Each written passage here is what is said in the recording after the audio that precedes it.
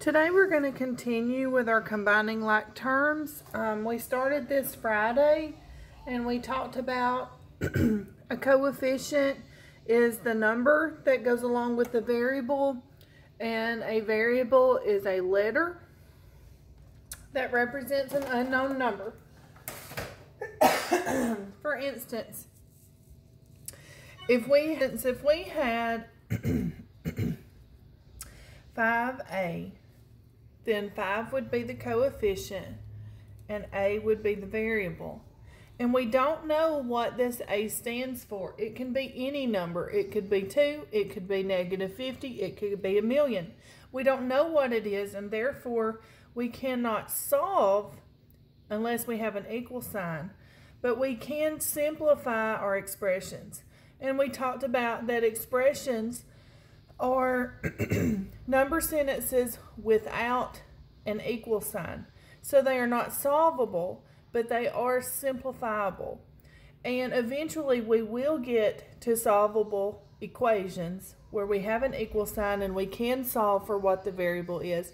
But right now we're working on simplifying these expressions to work up to um, solving equations. So let's say we had 5a plus 2b squared minus 6a plus 12. Now this is an expression. I know it's an expression because there is no equal sign. And I can't solve for the variable a or the variable b squared. But I can make it a little easier by going ahead and combining um, my like terms. Like terms, again, are terms that have the same variable or they may have no variable. So we have like terms here. We have 5a and we have negative 6a. And it's very important that you pay attention to the signs because this is a positive 5a and a negative 6a. So a positive 5 and a negative 6 is equal to negative 1. Um, if we came down here and we wrote positive 5 plus negative 6a, we would know that our signs are different. Difference means subtract, and we would get negative 1a. So we can combine these two terms and get negative 1a. Then we would look back up here and see, do I have any other terms that I can combine?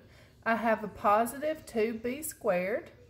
I don't see any other numbers that are that have the variable b squared. So I'm just going to bring it straight down. and I also have positive 12.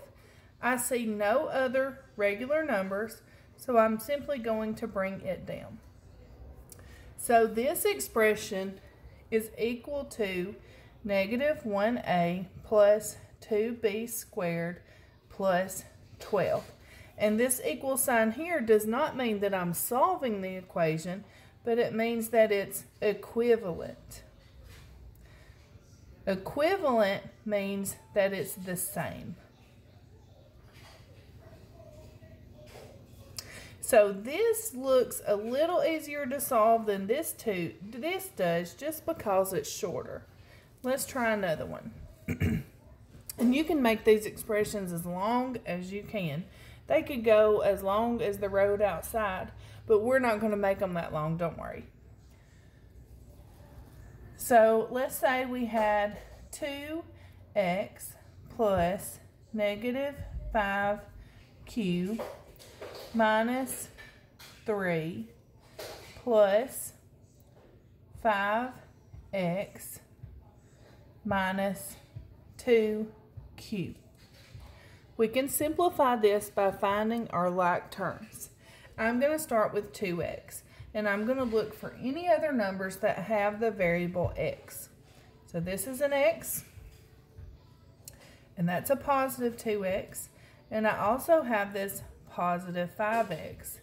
So here I have, I'm going to skip down here so I can show you, positive 2x plus positive 5x. And this is just like um, what we've been doing previously. We check our signs. They're both positive, so that means I'm going to add and I'm going to get 7x. Now I'm going to go back up here and see if I have any other like terms. I see my next term is a q. So I see I have another q over here. So I have negative 5q and negative 2q.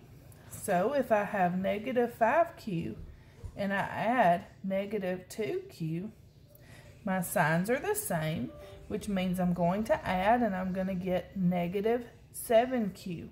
So I go back up here and I already have my 7x from this one and I add my negative 7q. And of course we could also put 7x plus negative 7q and we know it's going to be the same thing. And lastly, I'm going to look back and see if I have any other like terms. I don't, but I do see I have this negative 3 and I can't just throw it away, so I'm going to bring it down. So this is what this means. 2x plus negative 5q minus 3 plus 5x minus 2q is equivalent to 7x minus 7q minus 3. It all means the same thing. So this long expression is the same thing as this short expression. So this looks easier to solve than this because this is a really long looking equation. Expression, I'm sorry, expression. Okay, let's try another one. this time, let's try 10 um, y minus 2y squared plus 5y minus 25 plus 3y squared plus 6y. That looks like a really long expression, but we can simplify it by making it shorter.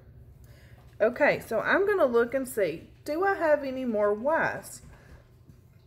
I see that I have positive 10y, positive 5y, and I also have a positive 6y. Now, why am I not including these y squares, squared? Because it is not exactly the same. In order to be able to combine like terms, they have to be the same. So y is not the same thing as y squared. You ask me why. Well, let's say that y is equal to 2. If y is equal to 2, that means that 10 times 2 would be 20. But if y is equal to 2, this says y squared. So that really means if y is equal to 2, that we would multiply it times itself.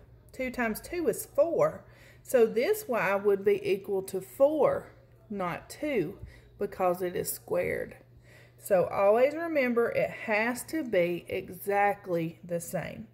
So if we skip down here and we have 10y plus 5y plus 6y.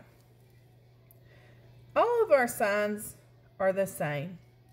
So we're going to add them all together. So we have 10y plus 5y is 15y, and 15y plus 6y is 21y. So, 21y. Now, we need to look and see if we can simplify even further because we can't just throw these away because we haven't used them. So here I see negative 2y and, uh, I'm sorry, negative 2y squared and positive 3y squared. So if I do negative 2y squared plus positive 3y squared, my signs are different, which means I'm going to subtract. 3 minus 2 is 1, and you keep the y squared. And I keep the sign of my largest absolute value, which is plus. So I'm going to bring that up here. Plus 1y squared. And then I look up here. This is the only one I don't have boxed in. So I'm just going to bring it down. So 10y minus 2y squared plus 5y minus 25 plus 3y squared plus 6y is equivalent to 21y plus 1y squared minus 25. And I would also like to point out that this 1y could also be written like this. 21y plus y squared minus 25.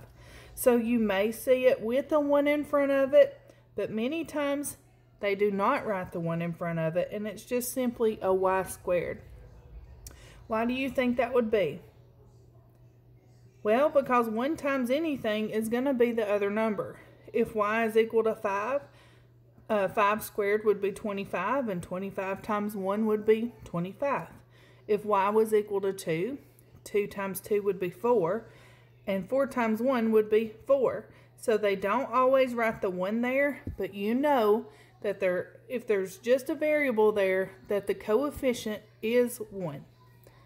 Okay, let's do a couple more and then I'll let you get started on your work.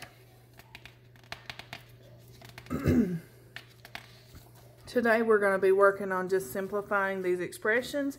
Tomorrow we're going to be talking about the distributive property, um, which is just an extra step, but we need to get used to doing this first before we throw in that distributive property. So this time let's say we have 6g minus 2 plus 6h minus 12g minus 15 plus 2h. So that looks like a really long expression, but we can simplify it. So first I'm going to look for g's. And I see that I have another g here. It's super extra important that you include the sign. So skip down here, we have 6g and it's positive, and we're going to add negative 12g. So my signs are, the, are different, so I'm going to subtract, and I'm going to get 6g, and I keep the sign of my largest absolute value, which is negative 6g. So I'm going to go ahead and put an equal sign here for equivalent, and I'm going to put the negative 6g here this time because we're copying it there anyway. That'll just take some steps away. Okay, next in line I see I have a regular integer. It's a negative 2. So I'm going to look for other regular integers, which, which by regular I mean they just don't have a variable. So I have negative 2 and negative 15. So I'm going to write that down here. Negative 2 plus negative 15. My signs are the same, which means I'm going to add, and I'm going to get 17. And I keep the sign of the largest absolute value, which is negative. So I'm going to put that up here, minus 17. Now I need to see if there's anything else I can combine. I see that I have a positive 6h and a positive 2h. So positive 6h plus positive 2h equals, my signs are the same, same means add, 6 plus 2 is 8, keep your variable. So now I have 8h and it's positive. So I'm going to put that up here, plus 8h. So 6g minus 2 plus 6h minus 12g minus 15 plus 2h is equivalent to negative 6g minus 17 plus 8h. So all we're saying is this is the same thing as this. We just simplified it and made it easier for us to solve once we get to equations. This is an expression. This is an expression. It is not solvable because we do not know what g is equal to and we do not know what h is equal to. every year I have kids who want to solve it and they're like, but I can't go any further. And I'm like, well, you're not supposed to go any further. You're just simplifying. So just know that you are just simplifying. You're not solving it. Okay, I think that's enough and let's go ahead and get started on our work for today. Good luck and I'll see you tomorrow. Bye-bye.